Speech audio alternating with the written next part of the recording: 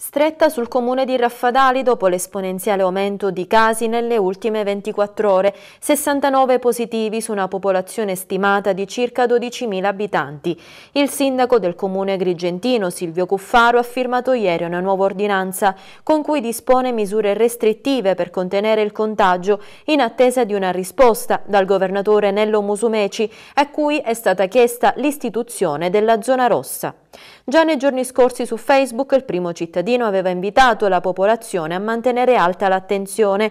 Con la nuova ordinanza a Raffadali si chiudono tutte le scuole con l'attivazione della didattica a distanza e si limitano le uscite dalla propria abitazione soltanto per gli acquisti essenziali, ad eccezione di quelle per i farmaci limitate ad una sola volta al giorno e ad un solo componente del nucleo familiare, tranne per le persone ultrasettantenni e le persone con disabilità che hanno necessità di farsi assistere da un accompagnatore. Stretta anche sui funerali, dove la partecipazione alla cerimonia funebre e l'accompagnamento del feretro all'ultima dimora solo agli stretti congiunti e al personale addetto alle imprese funebri, evitando le visite di lutto a casa. Inoltre è interdetta la fruizione delle aree verde pubblico, limitazioni anche per fare attività sportiva all'aperto.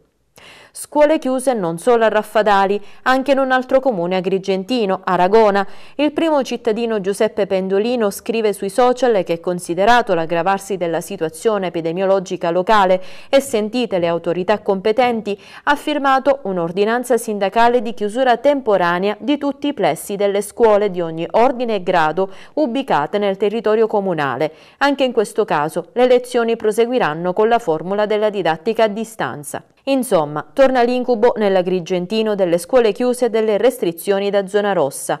In provincia i casi sono in leggero rialzo ma la situazione tutto sommato continua ad essere sotto controllo, a parte come dicevamo in determinati comuni. A Sciacca negli ultimi giorni si è registrato un crescente aumento dei contagi, ad oggi sono 74, numero che sta allarmando la popolazione, sebbene sia da considerare il numero totale dei residenti in città che si attesta attorno ai ai 40.000 abitanti. In proporzione dunque la percentuale dei soggetti positivi è ancora bassa. Lo stesso sindaco della città, Francesca Valenti, ai nostri microfoni aveva spiegato che i positivi al Covid sono soggetti adulti.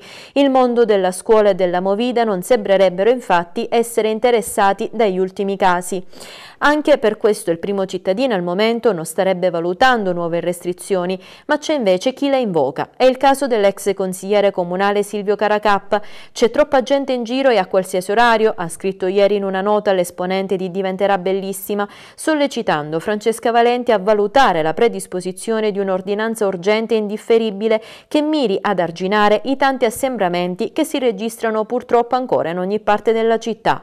Comprendo la crisi del settore commerciale sono vicino ai tanti commercianti che stanno soffrendo, aggiunge Caracappa, ma non si può accettare che in un periodo di piena pandemia, purtroppo così attuale, in tanti si organizzano attorno a un tavolo per un aperitivo o altro senza rendersi conto della fase così delicata e di quanto, conclude, può essere dannosa una folta presenza per le vie della città.